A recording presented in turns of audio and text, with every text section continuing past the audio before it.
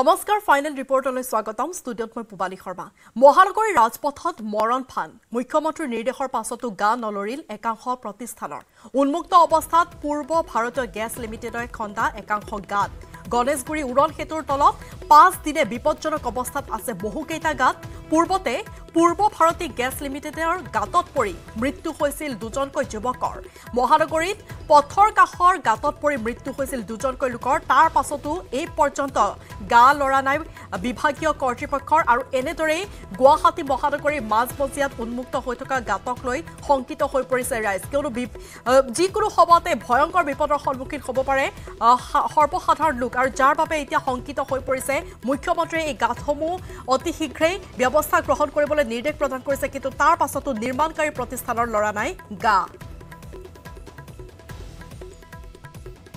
এনেদৰে বিপদসংকুলভাৱে যাতায়াত অব্যাহত ৰাখিছে মহানগৰীকে। এই সন্দৰ্ভত ভাস্কৰ জ্যোতি শইকীয়াৰ এক প্ৰতিবেদন আছে আগবঢ়াইছো। এনেদৰে গৃহ বৃহৎ বৃহৎ গাঁতসমূহ খন্দাৰ ফলত কিন্তু যথেষ্ট যান জঁটৰ সৃষ্টি হৈছে। মোৰ যদি সতীৰ্থই দেখুৱাই গুৱাহাটী মহানগৰী এনেদৰে দিছপুৰৰ সমীপতে বা গণেশগুৰিৰ সমীপতে কিন্তু এনেদৰে বৃহৎ বৃহৎ গাঁতসমূহ খন্দাৰ ফলত এনেদৰে বৃহৎ যান জঁটৰ সৃষ্টি হোৱা পৰিলক্ষিত হৈছে। তাৰ পৰিৱৰ্তে দেখা পোৱা গৈছে যে যিসমূহ পথচাৰী আছে বা যিসমূহ চালক আছে যান বাহনৰ চালক আছে যান বাহনৰ চালকসকলেও কিন্তু যথেষ্ট অসুবিধাৰ সন্মুখীন হ'বলগীয়া পৰিছে। কিয়নো এই গাঁতসমূহ কিছুদিনৰ পূৰ্বতে খন্দা হৈছিল বা কিছুদিনৰ পূৰ্বতে এই গাঁতসমূহ খান্দি এনেদৰে উন্মুক্ত অৱস্থাটো বৰ্তমান ৰাখি থোৱা হৈছে। আমি তেওঁলোকৰ সৈতে কথা পাতিবলৈ যত্ন কৰিম। যিসকল ওচৰৰ লোক আছে আমি তেওঁলোকৰ সৈতে কথা পাতিম। দাদা আপুনি যিহেতু ওচৰতে থাকে কেতিয়া এই গাঁতসমূহ খন্দা হৈছিল? চাৰিদিনমান হ'ল না। চাৰিদিনমান হ'ল খন্দবা সেইটোৱে। এতিয়ালৈকে কিন্তু গাঁতসমূহ পুতা নাই যথেষ্ট ভিৰ ভাৰ থকা অঞ্চল কি ক'ব? এতিয়া চাওক এইটো কামটো আমাৰ গাড়ী ঘোঁৰা যায় এইটো ৰাস্তা দিয়ে এই কামটো সোনকালে কৰিব লাগে কিয়নো গম পায় এতিয়া মানুহবোৰ দিগদাৰ হয় ন তাৰ কাৰণে কামটো সোনকালে কৰিব লাগে। এতিয়া গাড়ীগুলো স্কেন হৈ থাকে মানুহ চানুহ খোজকাঢ়ি থাকে অসুবিধা হয় ন তাৰ কাৰণে আমাৰ হিচাপত কামটো আমাৰ হিচাপত সোনকালে কৰিব লাগে। এইটোৱে আমাৰ সন্দেহ নিশ্চয়কৈ। যথেষ্ট তেওঁলোকে লেহেমীয়া গতিত এই কামসমূহ কৰা পৰিলক্ষিত হৈছে। আমি ইতিমধ্যে মঠঘৰীয়াৰ কথা উল্লেখ কৰিছোঁ। মঠঘৰীয়াত যিগৰাকী যুৱকে ইতিমধ্যে মৃত্যুক আঁকোৱালি ল'ব লগাত পৰিছিল। দুহেজাৰ তেইছ বৰ্ষৰ চৈধ্য জুলাইত এনেদৰেই এটা গাঁতত পৰি এই পূৰ্ব ভাৰতী গেছ নামৰ যি সংস্থাটো আছে সংস্থাটোৱে খন্দা গাঁতত পৰি ইতিমধ্যে মৃত্যুক আঁকোৱালি লৈছে। আমি যদি তাৰ পিছৰ পৰ্যায়লৈ লক্ষ্য কৰোঁ বা পিছৰ দিনটোলৈ লক্ষ্য কৰোঁ তাৰ কিছুদিনৰ পিছতেই কিন্তু হেঙেৰাবাৰী যি দিছপুৰৰ সমীপৰ হেঙেৰাবাৰীত এনেদৰে পূৰ্ব ভাৰতী গেছ নামৰ যি বেচৰকাৰী সংস্থাটো আছে সংস্থাটোৱে খন্দা গাঁতত পৰি আৰু এজন যুৱক এনেদৰে সলিল সমাধি ঘটিছিল আৰু এজন যুৱকৰ এনেদৰে সলিল সমাধি ঘটা পৰিলক্ষিত হৈছিল। আৰু এটা কথা নিশ্চয়কৈ ক'ব লাগিব যিহেতু অকল পূৰ্ব ভাৰতী গেছেই এনেদৰে কামসমূহ কৰি থকা নাই অন্যান্য যিসমূহ বেচৰকাৰী সংস্থা আছে সেই সংস্থাসমূহে কিন্তু এনেদৰে গাঁতসমূহ খন্দাৰ ফলত অবাবত মৃত্যুক আঁকোৱালি ল'বলগীয়া হৈছে যুৱ প্ৰজন্মই বা যিসকল ড্ৰাইভাৰ আছে বা যিসকল চালক আছে চালকসকলে যথেষ্ট অসুবিধাৰ সন্মুখীন হোৱা পৰিলক্ষিত হৈছে। দক্ষিণ কামৰূপৰ মিৰ্জাত নকল সোণসহ দুজনক গ্ৰেপ্তাৰ কৰা হৈছে। মিৰ্জা তিনিআলিত ভাড়াতীয়া হিচাপে আছিল দুয়োজন ধৃত জেহেৰুল আলী আৰু দিলৱাৰ হুছেইন। দুয়োৰে পৰা জব্দ কৰা হৈছে দুই কেজি নশ গ্ৰাম নকল সোণ। পলাশবাৰী আৰক্ষীয়ে গ্ৰেপ্তাৰ কৰিছে দুয়োজনকে নকল সোণ সৰবৰাহ কৰি এনেদৰে পুনৰবাৰ আৰক্ষীৰ জালত পৰিছে দুজনকৈ লোক। এইবাৰ দক্ষিণ কামৰূপৰ মিৰ্জাত দুই কেজি নশ গ্ৰাম সোণসহ এই দুজন লোকক আটক কৰিছে আৰক্ষীয়ে।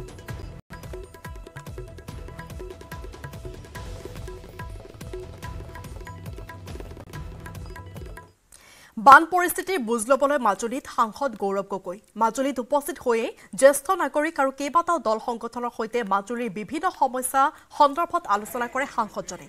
কাইলৈ যুগুনিধাৰীৰ মথাউৰি ছিগা অংশ পৰিদৰ্শনৰ লগতে মাজুলীৰ বিভিন্ন স্থানত উপস্থিত হৈ বানাক্ৰান্তৰ খবৰ ল'ব গৌৰৱ গগৈ।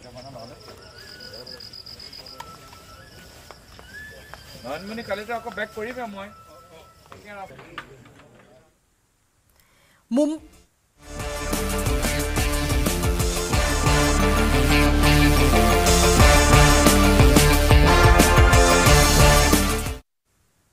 মুম্বাইত ভাৰতীয় ক্ৰিকেটৰ বিজয় উৎসৱ। স্বদেশত উপস্থিত হোৱাৰ দিনাই মুম্বাইৰ নাৰিমন পইণ্টত উলিওৱা বিশাল বিজয় ৰেলীত অংশ ল'লে ভাৰতীয় ক্ৰিকেট দলে ভাৰতীয় ক্ৰিকেট তাৰকাৰ ফটো খোদিত খোলা বাছত ৰাজপথৰ দুয়োকাষে দুয়োকাষে গোট খোৱা শত সহস্ৰ ক্ৰীড়ানুৰাগীৰ সম্ভাষণ গ্ৰহণ কৰিলে বিশ্বজয়ী ৰোহিত বাহিনীয়ে।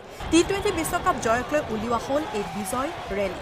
ৱাংখেড়ে ষ্টেডিয়ামত ভাৰতীয় ক্ৰিকেট দলটোক জনোৱা হয় বিপুল সম্বৰ্ধনা উল্লেখ্য যে টি টুৱেণ্টি বিশ্বকাপত দক্ষিণ আফ্ৰিকাক পৰাজিত কৰি ঐতিহাসিক বিজয় সাব্যস্ত কৰিছিল টীম ইণ্ডিয়াই।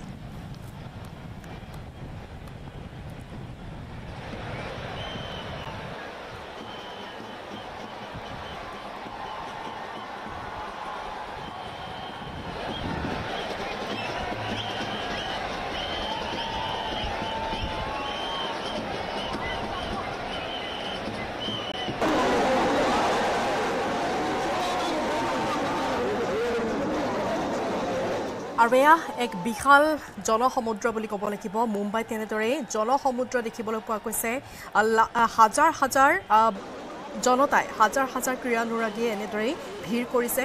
এখন খোলা পাছত এনেদৰে খেলুৱৈসকল উঠিছে আৰু তেওঁলোকে ৰেলী কৰা পৰিলক্ষিত হৈছে। এই ৰেলীত অংশগ্ৰহণ কৰিছে হাজাৰ হাজাৰ ক্ৰীড়ানুৰাগীয়ে কিছু সময়ৰ পূৰ্বে মুম্বাইৰ মেৰিন বীচৰ দৃশ্য আমি আপোনালোকক দেখুৱাইছোঁ। লোকাৰণ্য হৈ পৰিছিল মেৰিন বীচ যেন সমুদ্ৰ তীৰত এয়া হৈছে জনসমুদ্ৰ। এনেদৰেই হাজাৰ হাজাৰ লোকে সাদৰ সম্ভাষণ জনাইছে বিশ্বজয়ী ভাৰতীয় দলটোক।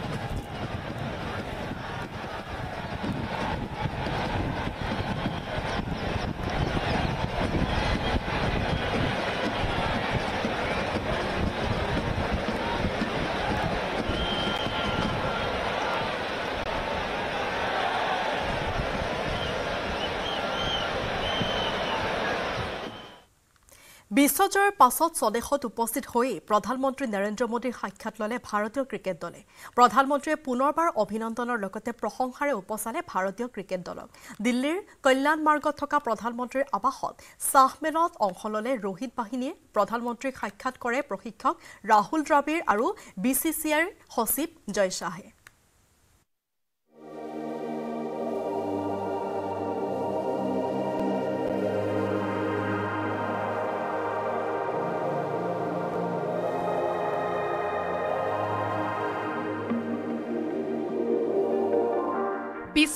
চেম্পিয়নক সাক্ষাৎ কৰিলে বিশ্বগুৰুৱে। প্ৰধানমন্ত্ৰীৰ ঘৰত বিশ্ব বিজয়ী টীম ইণ্ডিয়া।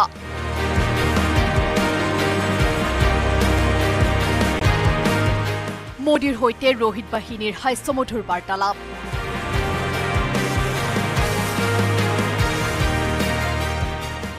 বাৰ্বাডোছত বিশ্বজয় কৰি বৃহস্পতিবাৰে স্বদেশলৈ উভতি আহিল ৰোহিত শৰ্মা নেতৃত্বাধীন ভাৰতীয় ক্ৰিকেট দল।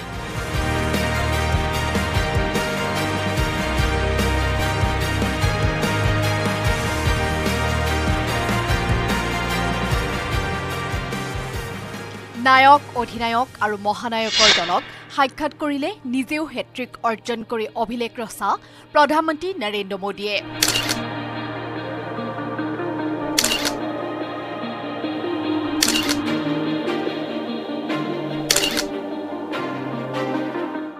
দেশলৈ উভতি অহাৰ পিছত টীম ইণ্ডিয়াক শ্বাহমেলৰ বাবে আমন্ত্ৰণ কৰিছিল প্ৰধানমন্ত্ৰীয়ে।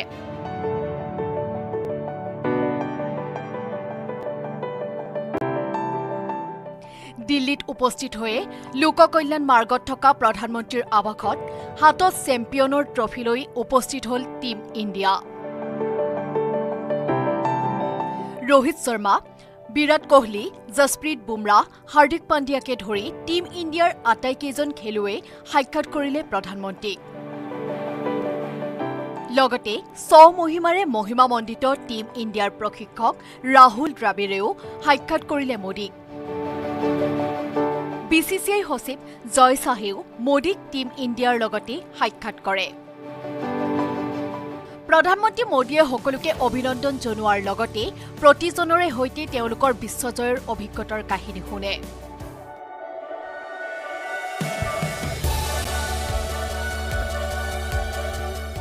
এই প্ৰতিৰোধ্য ৰোমাঞ্চকৰ বিজয়ৰ কাহিনী শুনি অভিভূত হৈ পৰে প্ৰধানমন্ত্ৰী নৰেন্দ্ৰ মোদী। হাৰ্দিক পাণ্ডিয়াক মোদীয়ে সুধিলে অন্তিম অভাৰটোৰ অভিজ্ঞতাৰ কথা। কি অনুভৱ হৈছিল সেই সময়ত? হাৰ্দিকৰ অভিজ্ঞতা শুনি মোহাচন্ন হৈ পৰিল মোদী। টীম ইণ্ডিয়াই টি টুৱেণ্টি বিশ্বকাপৰ ট্ৰফী মোদীৰ হাতত তুলি দিয়ে। আটাইকেইজন খেলুৱৈ আৰু প্ৰশিক্ষক ৰাহুল দ্ৰাবিড়ৰ সৈতে ফটো উঠে নৰেন্দ্ৰ মোদীয়ে।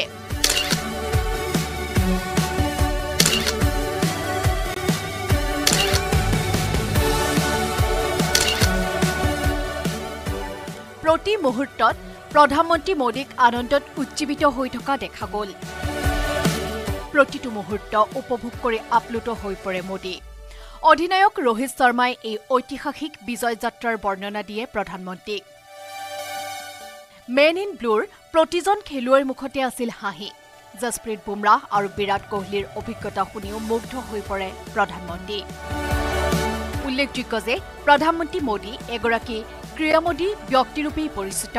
প্ৰতিবাৰেই প্ৰতিটো প্ৰতিযোগিতাই বিজয়ী হৈ অহা ভাৰতীয় খেলুৱৈৰ সৈতে চাহমেল ভোজমেলৰ আয়োজন কৰি মোদীয়ে খেলুৱৈসকলক উৎসাহিত কৰি আহিছে। ঊনত্ৰিছ জুনত ভাৰতৰ বিজয়ৰ পিছ মুহূৰ্ততে টীম ইণ্ডিয়াৰ প্ৰতিগৰাকী খেলুৱৈৰ সৈতে ভিডিঅ' কলিংযোগে শুভেচ্ছা জনায় মোদীয়ে।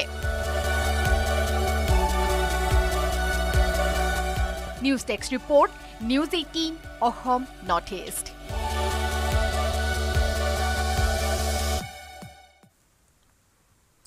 কাইলৈ পেৰলত মুক্তি পাব ডিব্ৰুগড়ৰ কেন্দ্ৰীয় কাৰাগাৰত বন্দী হৈ থকা খালিস্তানী নেতা অমৃতপাল সিঙে। সাংসদ হিচাপে শপত লোৱাৰ বাবে চাৰিদিনৰ বাবে পেৰল দিয়া হৈছে অমৃতপাল সিঙক। কাইলৈ নতুন দিল্লীলৈ ৰাওনা হ'ব পঞ্জাৱৰ পৰা সাংসদ হিচাপে নিৰ্বাচিত হোৱা অমৃতপালে। পেৰলৰ সময়ছোৱাত অমৃতপালে পৰিয়ালৰ লোকক সাক্ষাৎ কৰিব পাৰিব যদিও দিল্লীৰ পৰা বাহিৰলৈ যাব নোৱাৰিব। যোৱা বছৰ তেইছ এপ্ৰিলত গ্ৰেপ্তাৰ হৈছিল খালিস্তানী নেতা অমৃতপাল সিং তাৰ পাছতে তেওঁক লৈ অহা হৈছিল ডিব্ৰুগড়ৰ কেন্দ্ৰীয় কাৰাগাৰলৈ। উল্লেখ্য যে কোনো সাংসদে ছমাহৰ ভিতৰত শপত নললে সাংসদ পদ খাৰিজ হয়।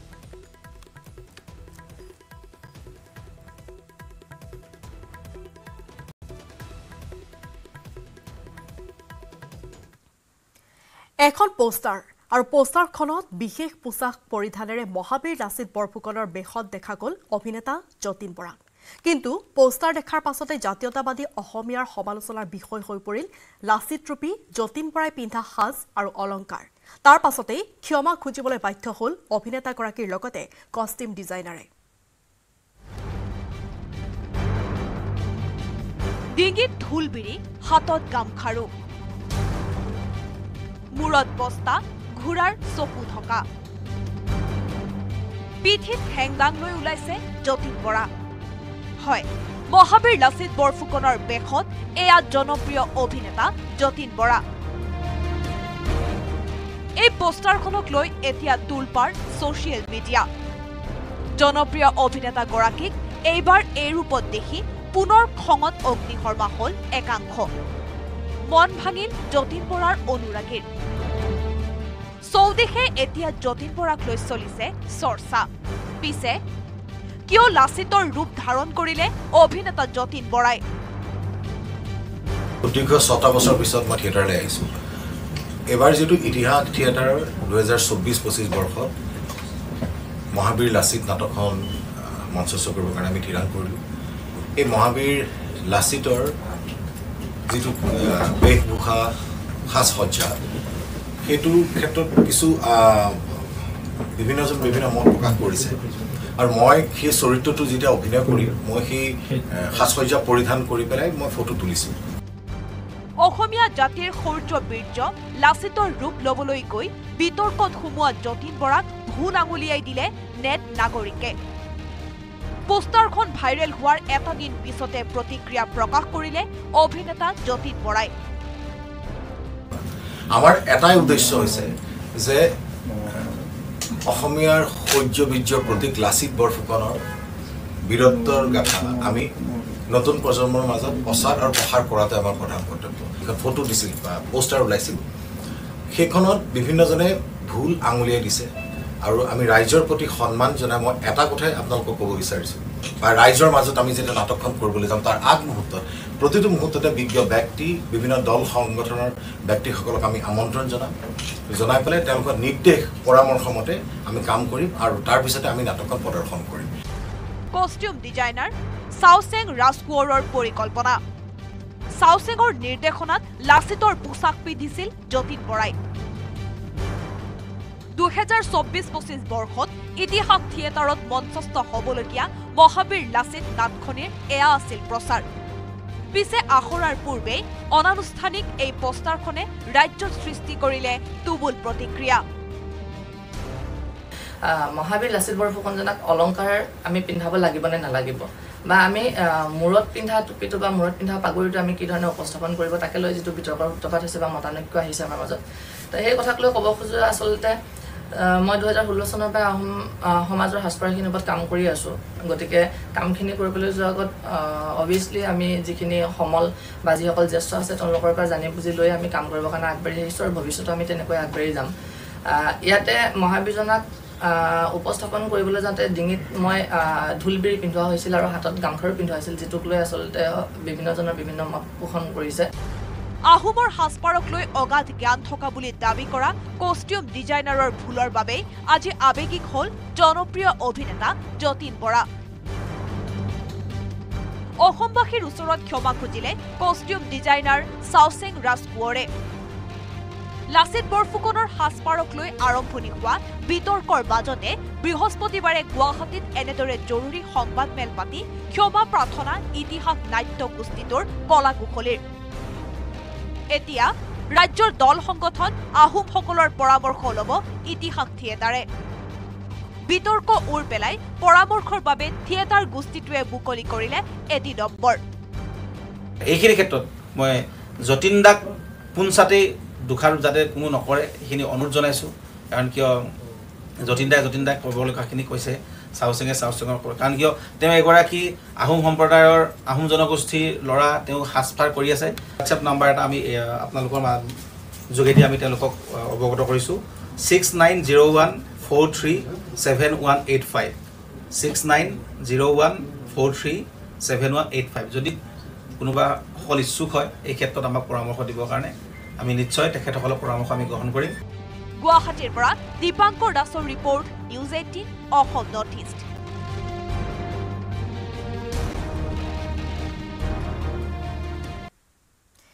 বানৰ মাজতে দৃশ্যমান হ'ল কেইবাটাও দুখ লগা দৃশ্য। গহপুৰত আশ্ৰয় শিবিৰৰ পৰা ঘৰলৈ উভতিল এগৰাকী ৰোগীয়া বৃদ্ধ। ঠেলা নাৱেৰে ঘৰলৈ অনা হ'ল অসহায় বৃদ্ধজনক। মিছামাৰীত টুলুঙা নাৱেৰে চিকিৎসালয়লৈ নিয়া হ'ল ৰোগীয়া বৃদ্ধক। যোৰহাটত এন ডি আৰ এফে উদ্ধাৰ কৰিলে প্ৰসূতিক।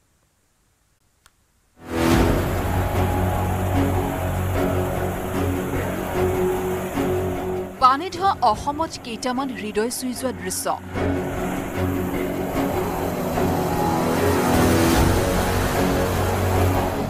এই দৃশ্য চাওক। গহপুৰত বৰ্ণাঢ্যৰ মাজত হাহাকাৰ। তাৰ মাজতে এগৰাকী আশী ঊৰ্ধৰ ব্যক্তিক ঠেলাত তুলি গৃহমুখী যাত্ৰা।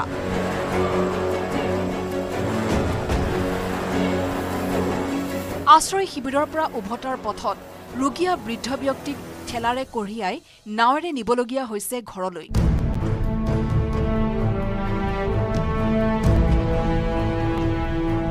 ডাঠ কলাৰ হৰ্ক বাহাদুৰ প্ৰধান নামৰ ব্যক্তিগৰাকীৰ দুৰ্দশাৰ ছবি বন্দী হ'ল নিউজ এইটিনৰ কেমেৰাত।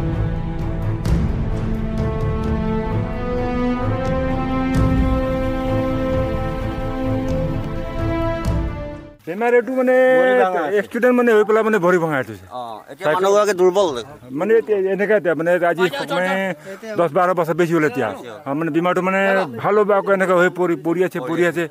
তাৰ ল'ৰা নাই ছোৱালী নাই আকৌ মানে মতা মাইকী আছে তাৰমানে এইবাৰ এই দৃশ্য চাওক। বানপানীৰ মাজতে টুলুঙা নাৱেৰে অসুস্থ হৈ পৰা এগৰাকী বৃদ্ধক বিপদ সংকুলভাৱে নিছে চিকিৎসালয়লৈ।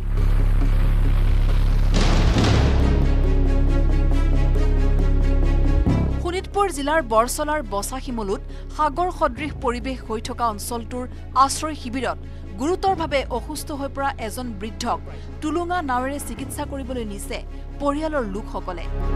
কিয়নো আশ্ৰয় শিবিৰটোত নাই স্বাস্থ্য বিভাগৰ দল। বৰচলাৰ টেকবস্তিৰ বান শিবিৰত সহস্ৰাধিক বৰ্ণাঢ্যই গৰু ম'হৰ লগত একেলগে আশ্ৰয় লৈ আছে। ইয়াত নাই চিকিৎসা সেৱা। শিশুৰ পৰা আৰম্ভ কৰি সহস্ৰাধিক লোকে আশ্ৰয় লৈছে এই বান শিবিৰত। কিন্তু এই শিবিৰত আজিলৈকে নাহিল স্বাস্থ্য বিভাগৰ দল। যাৰ ফলত বান শিবিৰত অসুস্থ হোৱাৰ পিছত এনেদৰে টুলুঙা নাৱেৰে অতি বিপদ সংকুলভাৱে নিব লগা হৈছে চিকিৎসালয়লৈ। অৱশ্যে কৰুণ ঘটনাৰ মাজতে যোৰহাটত আহিল আশাৰ ৰেঙনি। बारह किलोमीटर अप्रॉक्स में था, ब्रह्मपुत्रा को क्रॉस करके, उसके एक चैनल को क्रॉस करके पहुँचना था। करंट भी काफ़ी था वाटर लेवल भी काफ़ी ज़्यादा था। तो हमारे वहाँ पर जो बारह ए टीम के कमांडर सब इंस्पेक्टर नितेश थे, और बड़ी ही कार्यकुशलता के साथ वहाँ पर भेजा। मोनिका बोरी उनको जो है रेस्क्यू किए, और रेस्क्यू करने के बाद उनको सक्सेसफुली हॉस्पिटल के लिए भेजा। বান পৰিস্থিতিৰ মাজতে ব্ৰহ্মপুত্ৰৰ দাঁতিৰ ভিতৰুৱা গাঁৱৰ পৰা এন ডি আৰ এফে দুদিন পূৰ্বে উদ্ধাৰ কৰিছিল এগৰাকী প্ৰসূতি মহিলাক। মহিলাগৰাকীক উদ্ধাৰ কৰাৰ পিছতে বৃহস্পতিবাৰে মহিলাগৰাকীয়ে এটি সন্তান জন্ম দিবলৈ সক্ষম হ'ল। পানীটো বহুতেই আছিলে হয়। আৰু লাষ্ট ষ্টেজত আছিলে তাই যেতিয়া ডেলিভাৰী মানে আমি দুই তাৰিখে ৰেস্কিউ কৰিছোঁ আৰু তিনি তাৰিখে ডেলিভাৰী হৈছে। তো কেনেকুৱা চিটুৱেশ্যন ভাবক ডেলিভাৰীৰ মানে মহিলাৰ কাৰণে? এই আশাৰ খবৰ বিয়পি পৰাৰ পিছতেই উদ্ধাৰকাৰী এন ডি আৰ এফৰ দলটোৱে চিকিৎসালয়ত ফুলৰ থোপাৰে মহিলাগৰাকীক জনালে শুভেচ্ছা। মানে কেঁচুৱাটোও সুস্থ এতিয়া আমি চাই আহিছোঁ যিহেতু। ভালেই লাগিল দেখি। Bureau' report news eighteen Assam north east.